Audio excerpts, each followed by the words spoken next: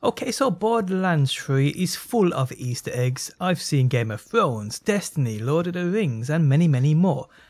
Today, although this Easter egg is known by many, there are two rewards obtainable from this location also, which are definitely worth your time farming, and that's what today's video is all about.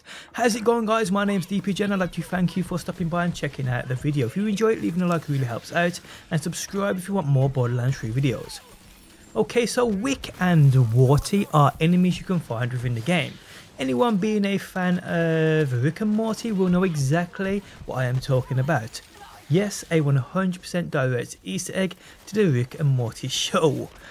Now these pair do indeed have exclusive weapons tied to them and today we'll check them both out and then I will showcase you guys the exact location you can go to to farm these dudes. Okay, so the two legendary weapons that drop from these are the redundant Savvy Feebert, which is a shotgun. This is quite a beast also, by the way. Look at those stats, plus 466% weapon damage, plus 46% weapon accuracy and much more. With a weapon shield capacity of 166 and a damage to projected front facing shield returns bullets to the magazine. Like what? The second weapon these drop is the wood blocker sniper rifle. This Hyperion sniper also packs quite a punch. Now although I ain't really a fan of snipers in this game, this is definitely one of the best I've had so far. Okay, so the location to find these pair is on Promethea within the Lectra City area. So spawn in here as I do and take the route I take. Now these pair ain't a guaranteed spawn, so if they ain't here once you get here, Simply quit out of your game, load it back up and head here again. Eventually they will spawn here so good luck in getting either of these weapons. Again guys there's a save point nearby so if you find them and they don't drop that juicy loot, quit out, reload and farm again. Farm, farm, farm away.